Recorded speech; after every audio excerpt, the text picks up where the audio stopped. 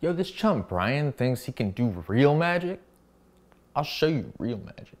Let me let me get in the mood. Yeah. Wingardium Leviosa.